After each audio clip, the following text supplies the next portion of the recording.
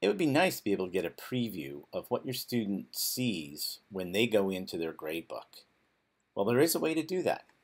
So I'm going to go to the reports and grades. And what you have to do when you come into your gradebook is you're going to have to go to the enter grades. So either you're, you have that as your default or if you're on manage grades, just click on enter grades. And then click on any student's name. I'll click on this first student here. And you're going to get some, you see user details will give you some information about the student. Uh, but this doesn't exactly show you what the student sees. If you click on the little actions uh, context menu next to the student's name and click preview, this literally shows you what the student will see from their perspective.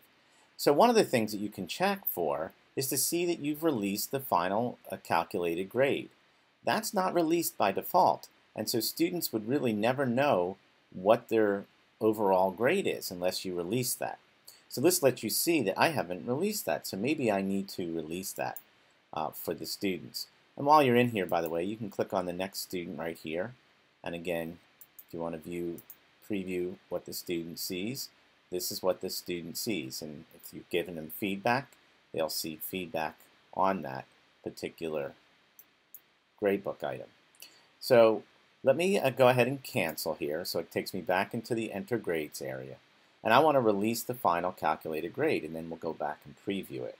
To release the final calculated grade is I'm going to click on the little action menu there, click on Grade All.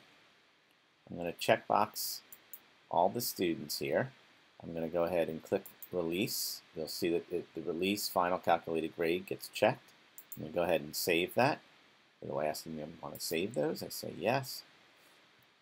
And now I seem strange that I'm going to click cancel. I wish there was a save and close, but I'm going to click cancel. That takes me back. You're going to see this icon, which means the final grade is released. So now when I click on the student's name here, I'm going to click on the preview. And now this is exactly what the student sees. The weight achieved and their, their grade, and you have some control over that. The other thing that's kind of nice here is that the student can view how their final grade was calculated. If you're using weighted averages, this will take the, each of the weighted averages and show you what's achieved by that. It'll also give them a note that items uh, that are not, because uh, I didn't put treat ungraded items as zero, they don't contribute to the final grade. So uh, this is a kind of a nice little thing for the students to be able to understand how their grade was achieved. So this is a great little feature um, within Desire2Learn's gradebook that you could use to make sure when a student tells you that they can't see their grades or they don't understand what grade is in there, you can actually preview what the student is seeing without having to ever log in as them.